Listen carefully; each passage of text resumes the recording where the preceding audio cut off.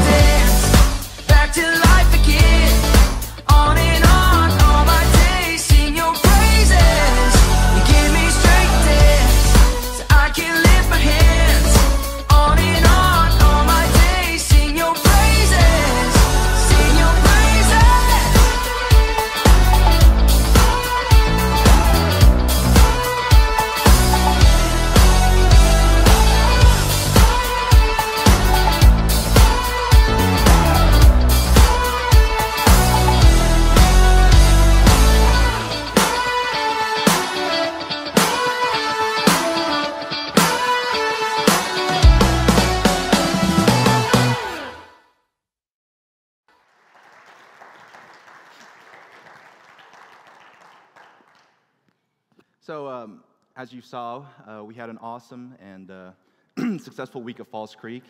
And uh, I think it just means so much more since we weren't able to, to go last year. And I know it means a lot for the kids as well. Um, but in in the midst of all the fun and all the activities, um, at the very end of the video, um, those kids that stood up and, and spoke were kids that made a decision, um, whether it's uh, uh, salvation, recommitment, or, um, or dedicating their lives to the ministry. Uh, and so, if you have a chance um, after service, um, no, no, praise God, yeah, right? Uh, if you have a chance, please, uh, if you see them, uh, congratulate them um, because it, it is a big deal. Um, today we're going to be in the book of Matthew, chapter 21.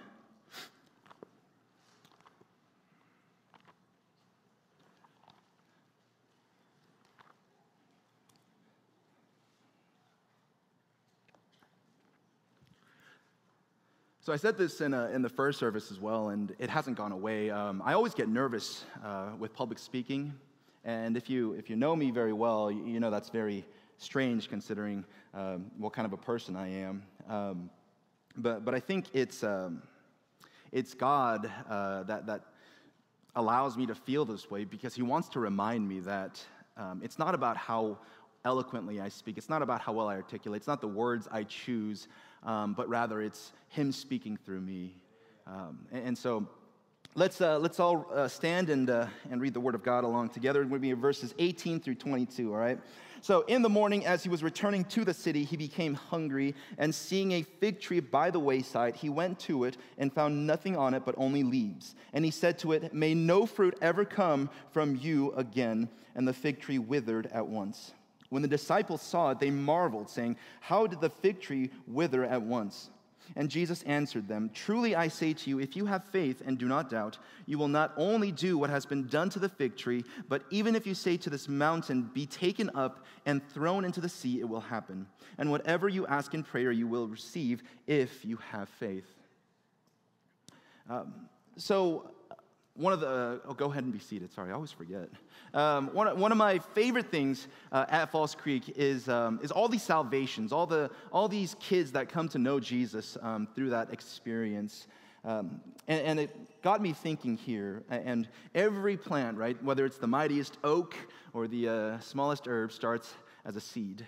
Um, and, and, so this, this passage actually took me back a few chapters to, to Matthew chapter 13 in, in the parable of the sower. And, and so in the parable of the sower, he, he talks about um, the seeds that fall by the, uh, by the path, the beaten path, and, and they're eaten up um, by, the, uh, by the animals of the world before it actually takes root. Um, but what I want to focus on are, are people, um, are the seeds that actually manage to take root um, and sprout. And so, if we look at the, uh, the second um, example in the parable he gave us, um, he gives us uh, uh, the seeds that fell um, into the rocks. And, and, so, because of the rocks, um, there, there, was a shallow uh, embedding of the seed. The seed fell in shallow soil. And so, uh, it grew quickly, but it also withered at the first sign uh, of trial and tribulation. And, and what that led me to was it's not about where the seed was planted so much as how shallow it was. And this is the shallow understanding of the Word of God um, that's given to us in this example. You see, because people who hear the good news of God, who, who taste uh, and, and see that He is good, very often stop there. They don't allow the Word of God to truly embed itself into their very being, into their spirit. And so while they have heard the gospel, while they have heard the good news, they don't understand exactly what that entails. And so as soon as they get back from camp, they're back to their old ways. As soon as they get back from a retreat, as soon as they get out of church on a Sunday morning, they're back to their old ways. In, uh, in Acts chapter 17, um, Paul writes, uh, sorry, not Paul, Luke writes, um, in verses 10 through 12. Um, the brothers immediately sent Paul and Silas uh, away by night to Berea, and when they arrived, they went into the Jewish synagogue. Now, these Jews were more noble than those in Thessalonica. They received the word with all eagerness, examining the scriptures daily to see if these things were so. Many of them therefore believed, with not a few Greek women of high standing as well as men. You see, they, they were different from um, the church in Thessalonica. They were different from the people in Thessalonica because they were willing to spend time and compare what they heard with God's word. You see, and that's something that we need to be doing on the daily. When you hear something at church from the pastor, Sunday school teacher, whatever it may be, it is your duty and obligation to check and make sure that it is biblically correct before you start uh, using it for your daily walk. When the, the world, when people of the world tell you things, you need to cross reference that with the scripture. You see, because they were comparing, they knew not only what was wrong, they knew what was right. Because you need to know what's right before you know exactly what's wrong. And so that's why they, they were so willing to accept the word of God and they were so willing to learn, and their numbers grew. And it's the same thing that we have to apply in our daily walk. So the second one is uh, the, uh, the seed thrown amongst thorns. Right? And, and, the thorns represent um, a love of the world. You see, if we turn to uh, 1 John chapter 2, verse 15, it says this Do not love the world or the things in the world. If anyone loves the world, the love of the Father is not in him. Now, let me get a little more in depth into that. We're going to go about three chapters forward in John, uh, 1 John chapter 4, uh, verses 15 and 16. Whoever confesses that Jesus is the Son of God abides in him, and he in God. So we have come to know and to believe that the love that God has for us, God is love, and whoever abides in love abides in God, and God abides in him. So taking these two verses, we see that if you love the world, the love of the Father, the love of God is not within you. But if you confess Jesus Christ as your Savior, as your Savior, the Father is within you, and the, and the love of the Father is in you because God is love. You see, so these two ideas are incompatible. And the love of the world isn't just things like money or possessions. The love of the world is anything that sets you, uh, that sets God below anything else in your life. You see, because the Spirit of God dwells within us. And once you, re, uh, once you are saved, once you have Jesus in your life as your Lord and Savior, we go through a, a long and arduous process called sanctification, which simply means that our spirit aligns with God's. And it's a lifelong process that won't be complete until we are reunited uh, with the Father in glorification. You see, but when our desires start lining up with God, in order for that to happen, we have to first love the things that God loves, or rather, love the people that God loves. Because we don't get to choose who, who, God loves and, in turn, who we give God's love to. Because we love since, uh, because He first loved us. In Matthew chapter 22, um, Jesus is asked, uh, What is the greatest commandment? And he said, Love the, love the Lord God, your Father, right? With all your heart, with all your mind, with all your strength. Um, and the second one is, is love your neighbors. And it's in that order. And so anything you put above those two things is the love of the world. If you prioritize your children, if you prioritize your family above God, that is the love of the world. All these things that are good when in the appropriate priority uh, location in our lives is bad once it usurps the position of God. And so that's why so many people fall prey to these thorns. So, based on this parable, um, we, can, we can liken uh, our salvation experience to a, a seed sprouting.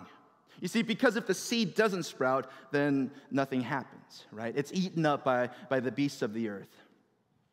But in these three scenarios that he's given to us, past the path, um, it, it shows us that the seed is implanted and it has sprouted. And so it's not just a simple matter of, oh, they were never saved or they were saved. It's a matter of what you do after that initial decision. And so, all these three, uh, the, the, the, three examples that are given to us are, are, the types of soil that that seed fell into. And, um, and I'm not much of a gardener, but I do know uh, a little bit about it. Because I know that good fruit cannot come from bad soil. In Galatians chapter 5, um, Paul writes uh, about uh, the, the uh, the results of worldliness and the fruit of the Spirit. Right? So if you want to turn with me to Galatians chapter 5, we're going to read quickly uh, through uh, Philippians. Um, I mean, not Philippians, sorry, verses 16 uh, through 24.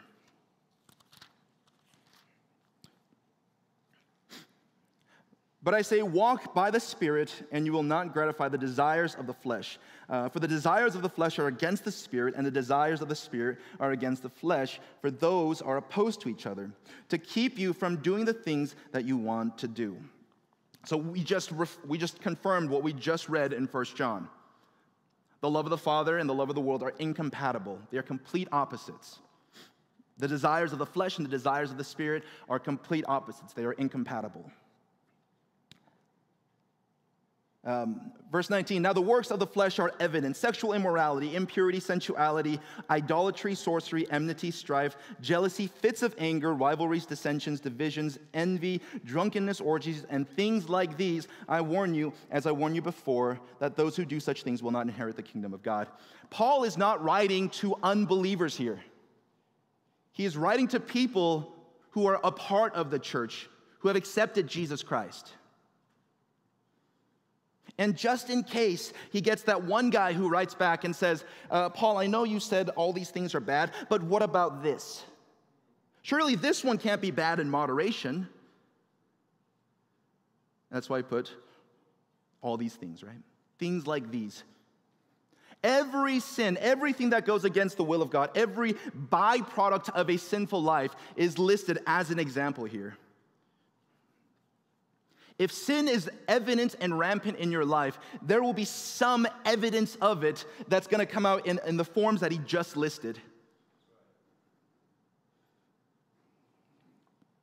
But on the other side of that, Verse 22 But the fruit of the Spirit is love, joy, peace, patience, kindness, goodness, faithfulness, gentleness, self control.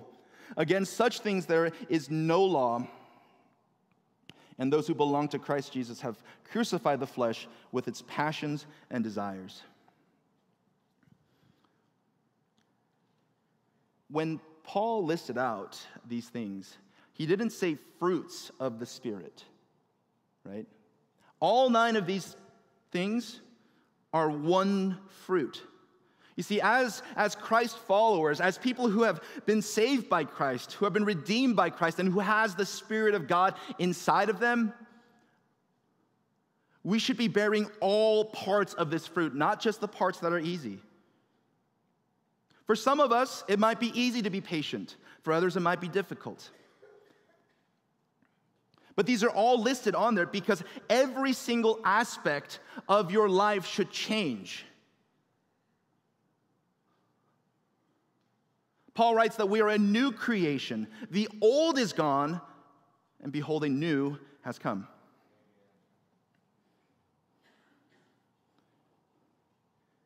And so, to see what kind of soil you've created for your seed, what kind of environment you've created for your heart, you have to examine what kind of fruit you're bearing. If these things are not evident in your life, if you are not growing in your life, in your walk with God, there's something wrong. Uh, if we look back at our title verse here, title passage here, we got Matthew chapter 21, verse 19. Jesus, uh, Jesus commands the tree to no longer bear fruit and wither. And, and this was a passage that stumped me every time I read it until God gave me that little aha moment. Right? Because I asked myself, why would Jesus, who was so compassionate to the needy, that was so willing to heal the sick, so quick to dine with sinners, be so quick to judge this tree? It's because the tree right now is the same as those Pharisees and Sadducees and scribes who Jesus considered, considered hypocrites. You see, because this fig tree had leaves, bountiful leaves, but no fruit. It betrayed expectations. You see, because the tree is lush, the tree is green, the tree has so many leaves, you would expect it to be fruitful and you would expect there to be something to come from it. But when Jesus got to the tree, he noticed that there was no fruit. And it, it betrayed the expectations of results. You see, because all that that fig tree was, was it had the appearance of a healthy fig tree but none of the fruit to show for it. And that's how we are sometimes, you see, because when we come to church, we put on this fake persona. We want to look good in front of people. We want to appear sinless. We want to appear like we're on top of life. When reality, we're broken inside.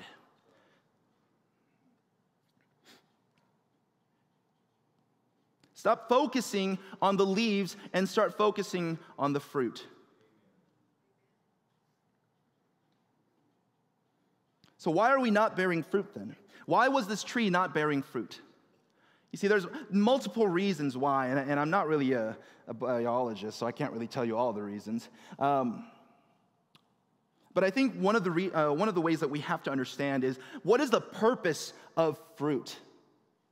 You see, because we're told over and over again that as Christians we must bear fruit. But if we look at fruit and the purpose of fruit in, in God's design, Fruit is specifically created not to give people joy, not to give animals joy, but to spread the seed. You see, the more delicious the fruit, the more plentiful the fruit, the more chances of a seed being planted and trees growing.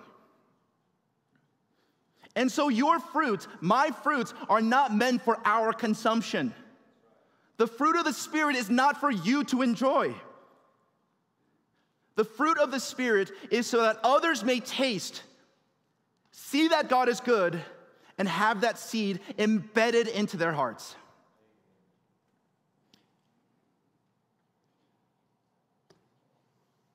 And so, if a fruit has no reason to spread seeds, to sow seeds, then there's no need for the fruit.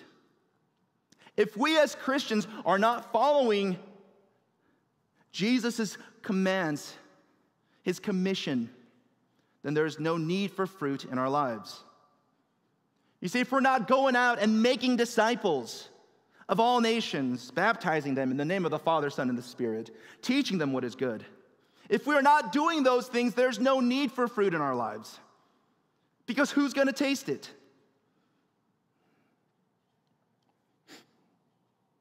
There may be another thing in the way.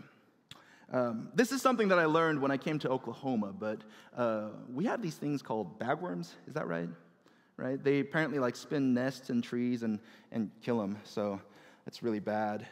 Um, but there might be something in the way. There's something that's inhibiting that tree from getting the nutrients to the proper place, right? It could be a disease, it could be a pest, it could be whatever it is, right? For Christians, we call that sin. You see, because once we're saved, we don't, it's not like we have to not worry about sin anymore. You see, because even though that we are no longer under the law, we are still to uphold it. Because we have to understand that Christ came not to abolish the law, He didn't come to free us from all these things, but He came to fulfill it. Because the law was originally there so that man would realize how far he fell short of the glory of God. And I don't know about you guys, but I fall short every single day.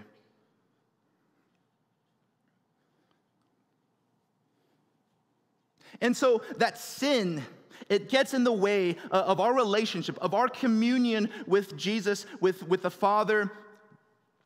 And you start hearing him less. You start feeling his guidance less. And it becomes easier and easier. You see, the sin that that destroys relationships, that destroys, uh, that destroys churches, that destroys families, is not done overnight.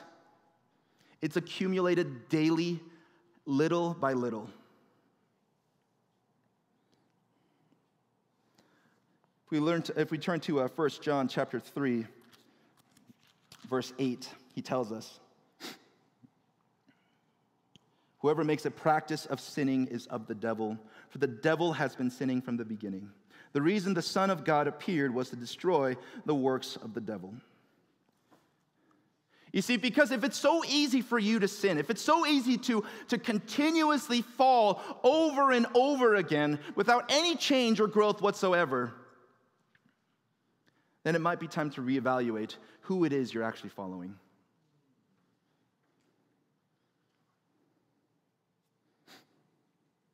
So I want to take this opportunity for, for everyone to, to just look inward, look at their walk with God, see where you started from, that initial salvation, and see how far you've come, if you've come anywhere at all. You see, because our, our, reuni- uh, our reuniting with the Father is not the finish line, it is the starting line. That salvation you experience, the baptism, that is your first step into your journey, not your last. And so see if there is fruit. Or have you been too worried about the leaves? It's not enough for us to behave like Christ followers. You see, because Christianity, our faith, is not about what we do or what we don't do, it's about what Christ did for us.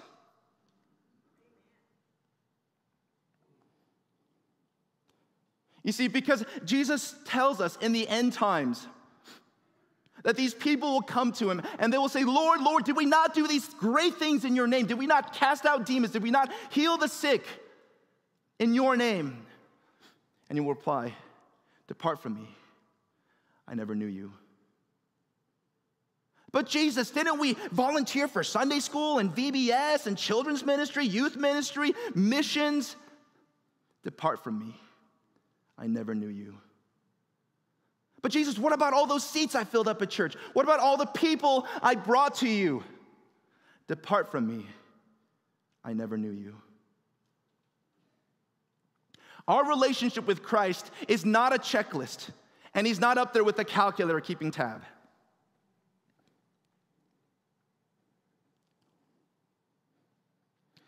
Maybe you're not bearing fruit because of sin in your life. If you go back a chapter, 1 John chapter 1, verse 1. Uh, chapter 2, verse 1, sorry. Um, it says, My little children, I am writing these things to you so that you may not sin. But if anyone does sin, we have an advocate in the Father, Jesus Christ, the righteous. He is the propitiation for our sins, and not only ours, but also for the sins of the world. You see, because in Christ, we have victory over sin. And so our confession of sin is not an admission of defeat, it is a celebration of the victory that Christ Jesus gave to us when he died on the cross and resurrected. So, what do we do?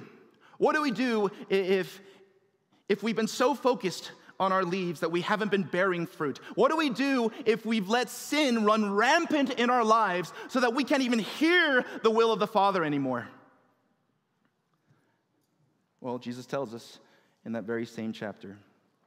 Verse, 20, uh, verse 21 And Jesus answered them, Truly I say to you, if you have the faith and do not doubt, you will, only, you will not only do what has been done to this fig tree, but even if you say to this mountain, Be taken up and thrown into the sea, it will happen. And whatever you ask in prayer, you will receive if you have faith.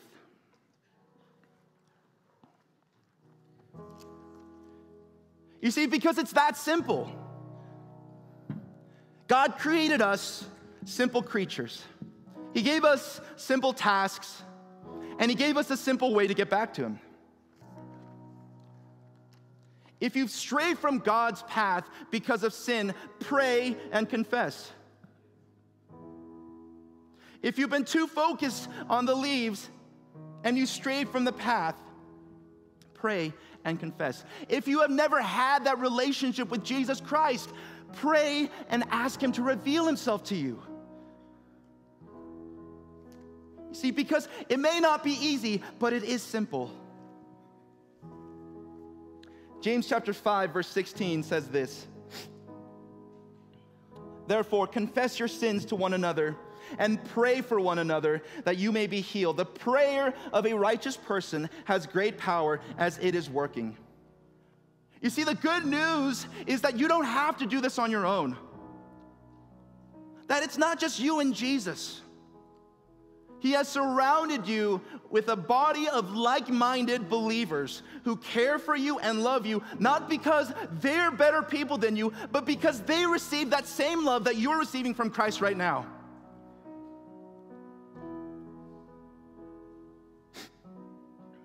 As we get into this time um, of prayer, you don't have to get out from your seat. But there is a significance to coming to the altar, you see. Because in the gospel, there are instances when Jesus makes that first move.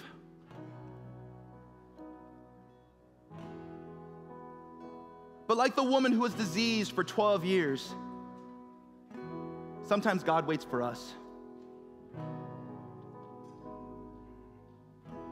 So you don't have to come up here. But what I do want to uh, ask is that if, if this is something that you are experiencing, if this is something that you wished would go away, seek a brother or sister in Christ.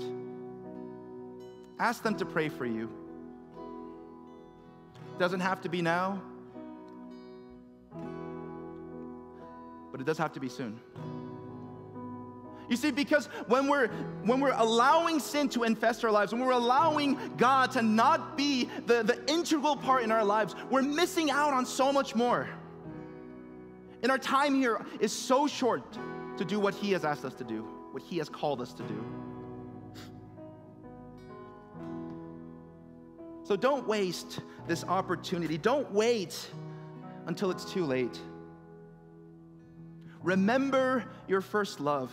Remember that first moment when Christ called you out of sin, called you his family, called you his children. A royal priesthood, inheritor of the kingdom of God.